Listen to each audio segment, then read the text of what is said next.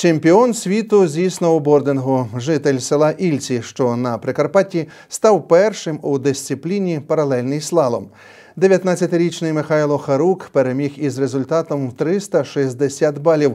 Змагання відбулись у словенському роглі. Михайло розповідає, тренувальний процес розпочався ще у серпні. Підготовку проходили у Швейцарії, наступним центром була Австрія. Найважче, каже чемпіон, справитись з емоціями та не піддаватися тиску. Ми усердно тренувались, мені потрібно було е, вставати о 5 годині ранку, щоб встигнути на тренування, яке починалося о 7 годині, тому що склони були ще потрібної жорсткості в цей час. І самі змагання проходили на позитиві. Ми навіть коли їхали туди, якось було перечуття, що в нас буде ця медалі.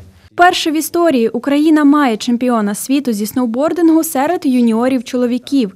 Наставник Михайла каже, тренування відбувалося у гарних умовах, проте не вистачало досвіду.